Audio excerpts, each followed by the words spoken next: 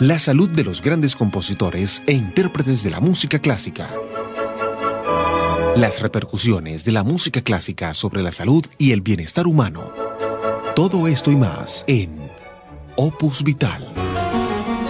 Conducido por Alex González, psiquiatra. Opus Vital.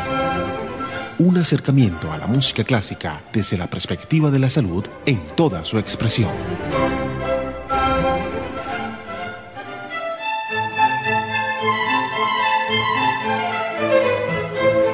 Buenas tardes amigos de Opus Vital.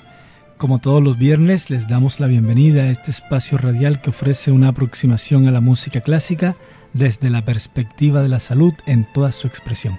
Los saluda Alex González Grau y conmigo está Liz Andrea Sarco. Buenas tardes Liz. Buenas tardes doctor y buenas tardes a todos nuestros escuchas. ¿Cómo se encuentra usted? Liz, la verdad muy contento, feliz de estar haciendo Opus Vital una vez más contigo y bueno, hoy una ocasión especial para los aficionados a la música clásica, ya que vamos a dedicar un especial a uno de los mayores compositores de la historia, específicamente del romanticismo alemán. Pero antes de decir de quién se trata, quiero comentar que además este programa es una prolongación de lo que hemos venido haciendo este año, hablando de la estimulación musical temprana, de cómo el conocimiento temprano de un arte, en este caso de la música, va a favorecer muchísimo el desarrollo intelectual y artístico de la persona. Porque además, doctor, este músico, este gran músico del que vamos a hablar hoy, fue ampliamente estimulado cuando fue un niño por sus padres. Tuvo muchos privilegios y la verdad los aprovechó. Ahora sí, Liz, comentemos de quién vamos a hacer este homenaje, a quién se lo vamos a hacer. Vamos a hacer un gran homenaje a Jacob Ludwig Felix Mendelssohn Bartholdy, también conocido como Felix Mendelssohn. Nació el 3 de febrero de 1809 en Hamburgo y murió el 4 de noviembre de 1847 en Leipzig. Fue un compositor, director de orquesta y pianista de música romántica alemán. Muy breve su vida, ¿no? Así es, solamente vivió 38 años. Y hay que ver todo lo que hizo en ese breve tiempo. ¿Y por qué murió a esa tan pronta edad? Eso corresponde al siguiente programa. Mendelssohn nació en el seno de una destacada familia judía que más tarde se convirtió al protestantismo, adoptando el apellido Mendelssohn Bartholdy. En su infancia fue considerado un prodigio musical, aunque su padre declinó la oportunidad que Félix siguiera una carrera musical hasta que quedó claro que tenía la firme intención de dedicarse seriamente a ella.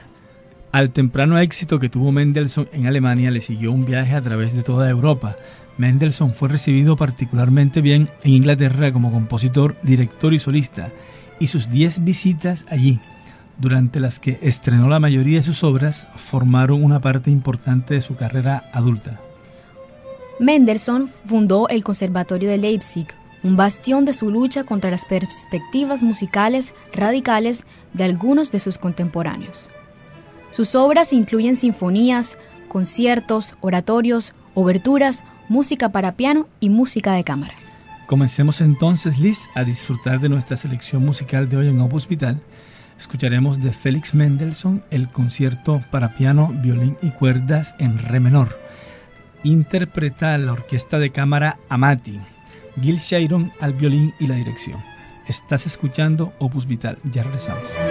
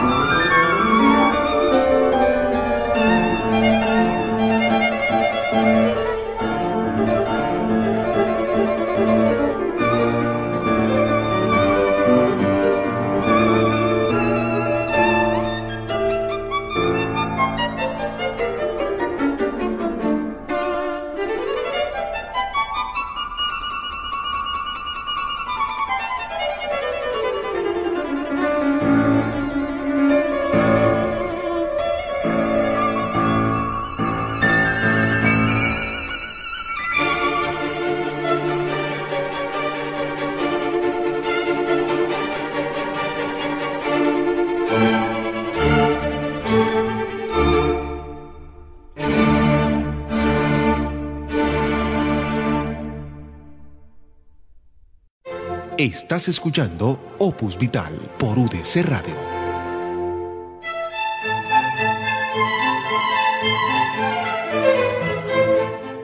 En Opus Vital estamos escuchando de Félix Mendelssohn el concierto para piano, violín y cuerdas en re menor.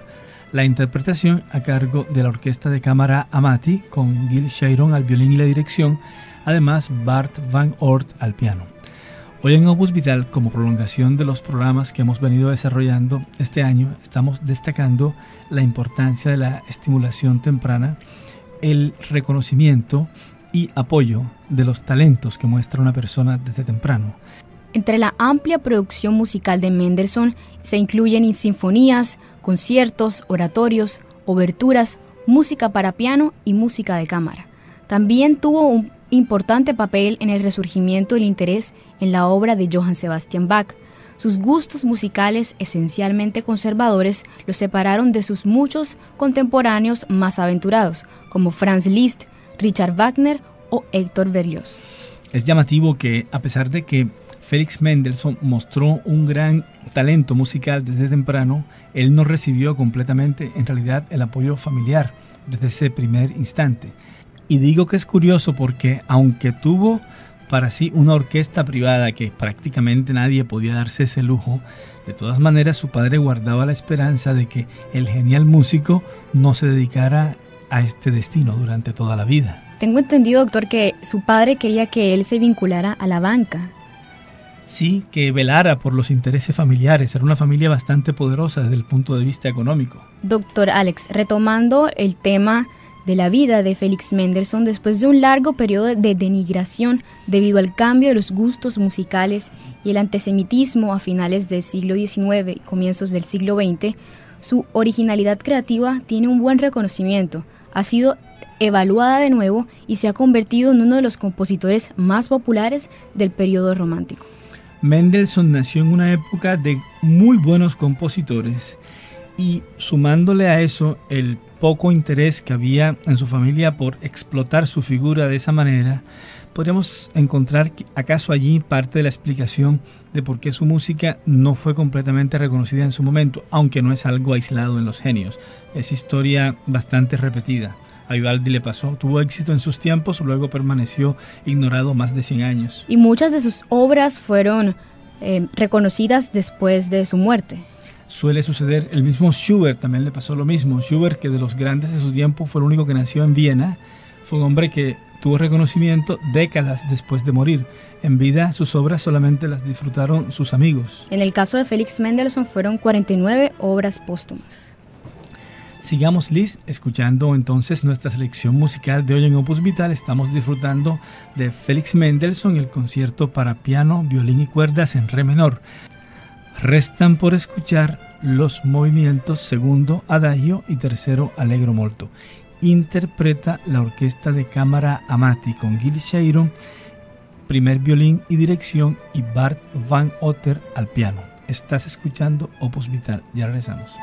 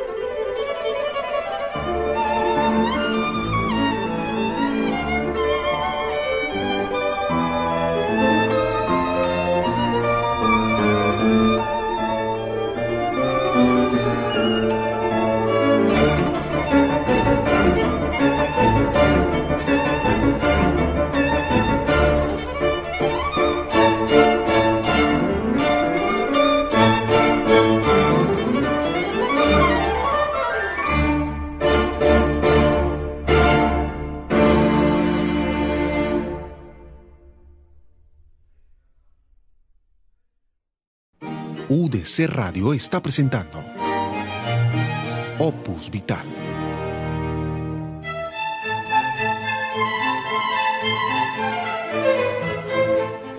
En Opus Vital hemos terminado de escuchar de Félix Mendelssohn el concierto para piano, violín y cuerdas en re menor. Interpreta la Orquesta de Cámara Amati bajo la dirección de Gil Sharon, además primer violín, y con Bart Van Oort al piano. Hoy en Opus Vital estamos celebrando un año más del nacimiento de Félix Mendelssohn.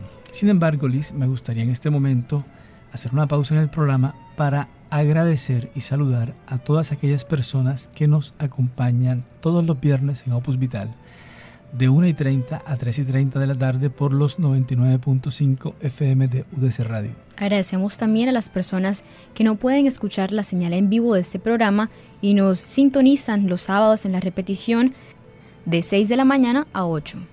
Gracias por los correos electrónicos que nos llegan a la dirección opusvital.udcradio.com. También agradecemos a nuestros nuevos seguidores en nuestra página en Facebook. Nos encontramos como Opus Vital y quienes nos escuchan desde otros países y otras ciudades a través de udcradio.com. Finalmente agradecemos las llamadas que nos hacen el número 6649-554, línea directa de UDC Radio. A todos muchas gracias por su compañía. Estamos ya en la sexta temporada de Opus Vital. Este programa se nutre de sus comentarios. Hoy, como comentábamos, estábamos hablando acerca de Félix Mendelssohn. Mendelssohn pues en continuidad con lo que hemos venido manejando durante este año, fue un niño prodigio. Desde muy temprana edad, Mendelssohn demostró su vocación y su talento musical. Entre sus aspectos biográficos se destacan en 1811, cuando Félix tenía tan solo dos años, su familia se trasladó a Berlín, donde creció y se educó dentro de un entorno con gran influencia intelectual. Doctor, usted lo mencionó anteriormente. Los padres además habían recibido una educación que les había proporcionado diversos conocimientos culturales. Por ejemplo, la madre hablaba varias lenguas, tocaba el piano y dibujaba de modo admirable. Habilidad esta última también poseía su hijo. Además, las grandes mentes de Alemania visitaron con frecuencia el hogar familiar de Mendelssohn en Berlín, incluyendo por ejemplo Alexander von Humboldt. Y su hermana Rebecca se casó con el gran matemático belga Lejeune Respecto a la educación de los hermanos Mendelssohn, los padres adecuaron la creación de un entorno de trabajo para el desarrollo de sus hijos, con la finalidad de que aprovecharan la gran cultura que ellos podían darle con sus recursos económicos. Que eran abundantes y de sobra, ¿no? Fanny se convirtió en una destacada pianista, o la hermana de Félix, y en una compositora aficionada, y en un principio Abraham llegó a pensar que ella, en lugar de su hermano, debería haberse dedicado a la música. Sin embargo, en ese momento no se consideró apropiado que una mujer fuera a dedicarse a la música, por lo que Fanny permaneció como una músico aficionada. Seis de sus primeras canciones fueron publicadas posteriormente con su consentimiento bajo el nombre de Félix. Doctor, ¿por qué no continuamos con la selección musical de Félix Mendelssohn que usted ha seleccionado para nosotros? Me parece muy bien, Liz. Vamos a escuchar en este momento de este gran compositor alemán el concierto para dos pianos y orquesta en la bemol mayor. Interpretan Anthony y Josep Paratore. Los acompaña la Sinfonieta de la Radiodifusora de Berlín bajo la dirección de Uros Lajovic. Estás escuchando Opus Vital, ya regresamos.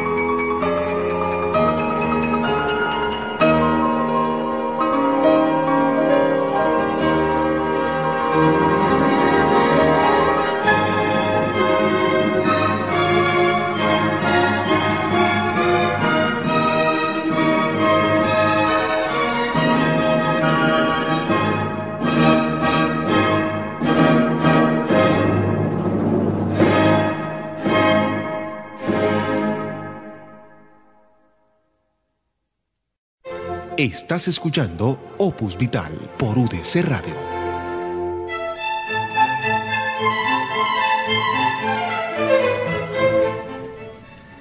En Opus Vital estamos escuchando de Félix Mendelssohn el concierto para dos pianos y orquesta en la bemol mayor.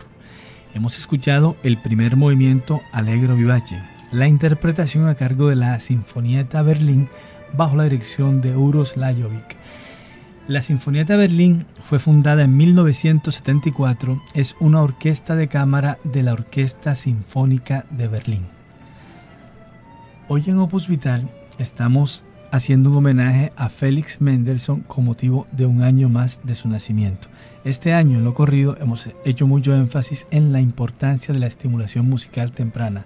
Mendelssohn es un perfecto ejemplo de un niño precoz.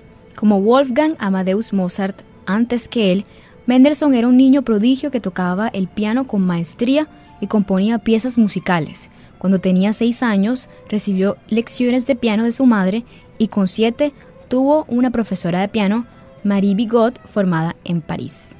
Desde los ocho años de edad, Mendelssohn comenzó a recibir clases de composición con Selter en Berlín. Fue una gran influencia en su carrera futura. Este gran profesor, Selter, empleaba como base de su enseñanza musical el clave bien temperado de Johann Sebastian Bach, pues admiraba y difundía entre sus alumnos las obras de este. Casi con total seguridad, Selter había sido recomendado como profesor de Félix por su tía Sara Levy, que había sido alumna de Wilhelm y mecenas de Emanuel Bach, y era una talentosa intérprete autodidacta al teclado. A menudo interpretaba con la orquesta de Selter en la Academia de Canto de Berlín, de la que ella y la familia Mendelssohn también eran mecenas. La primera aparición pública de Mendelssohn ocurrió cuando tenía nueve años. Fue durante un concierto de música de cámara en el que acompañaba a un dúo de trompas. Cuando Mendelssohn era adolescente, a menudo interpretaba sus propias obras en casa, acompañado de una orquesta privada, ya lo habíamos mencionado antes para los socios de sus padres que estaban entre la élite intelectual de Berlín. Mendelssohn también fue un compositor prolífico a una temprana edad, dado que a los 10 años comenzó a componer y a los 11 ya había escrito un trío para piano y cuerdas, una sonata para piano y para violín, cuatro piezas para órgano, una opereta cómica en tres actos y una cantata. Sigamos en este momento disfrutando de nuestra selección musical de hoy en Opus Vitalis. Vamos a continuar de escuchar el concierto para dos pianos y orquestas en la bemol mayor de Félix Mendelssohn. Lo interpreta la Sinfonieta Berlín bajo la dirección de Uros Lajovic. Al piano Anthony y Josep Paratore. Restan por escuchar los movimientos Andante y Alegro Vivace. Estás escuchando Opus Vital. Ya regresamos.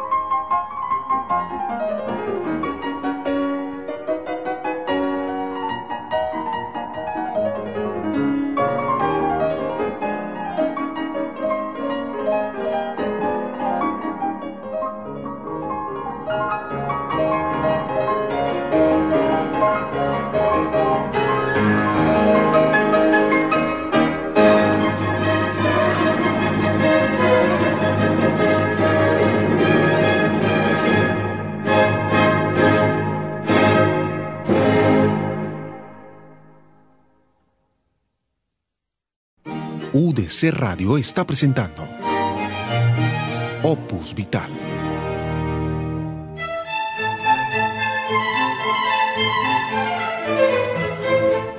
De Félix Mendelssohn hemos terminado de escuchar en Opus Vital el concierto para dos pianos y orquesta en La bemol mayor. Interpreta la Sinfonieta Berlín bajo la dirección de Uros Lajovic. Al piano Anthony y Josep Faratore. Hoy en Opus Vital hemos iniciado un especial dedicado a Félix Mendelssohn con motivo de un año más de su nacimiento. Este año en Opus Vital hemos hecho mucho énfasis en los beneficios de un aprendizaje musical temprano. Si la persona de por sí ya tiene talento y genialidad, pues los resultados serán fantásticos, como en el caso de Félix Mendelssohn. Comentábamos en la entrada anterior, Liz, que desde los 10 años ya Mendelssohn era un compositor prolífico. De hecho, a los 12 años compuso cinco cuartetos para cuerdas, nueve fugas, varias piezas para piano y dos operetas. A los 13 años tocó en público en un concierto suyo para piano y compuso su primera obra publicada, un cuarteto para piano, y a los 14 disponía ya de una orquesta privada. En 1824, al cumplir los 15 años, se ensayó por primera vez su ópera Los dos sobrinos, con orquesta. Terminó su duodécima sinfonía juvenil, que es anterior a sus cinco sinfonías conocidas, y compuso su primera sinfonía en do menor, opus 11. El próximo viernes en Opus Vital vamos a terminar de hablar acerca de la biografía de Félix Mendelssohn, resaltando su genialidad, su precoz talento. Pero vamos a hablar acerca de la causa de muerte. Su muerte tan temprana, a los 38 años de edad. Una lástima que un compositor de una genialidad tan alta como la del mismísimo Mozart haya tenido precisamente una muerte prematura casi que a la edad de este otro gran compositor. Pues bien, vamos a despedir este programa de Opus Vital escuchando de Félix Mendelssohn el concierto para violín y cuerdas en re menor con Gil Sharon al violín y lo acompaña la Orquesta de Cámara Amati bajo su misma dirección. Movimientos alegro, andante y alegro. Hoy en Opus Vital Estuvimos con Gustavo Chica en la producción y Amilcar Wong en los controles. Les hablamos Liz Andrea Zarco y Alex González Grau. Feliz fin de semana para usted, doctor, y para todos nuestros escuchas.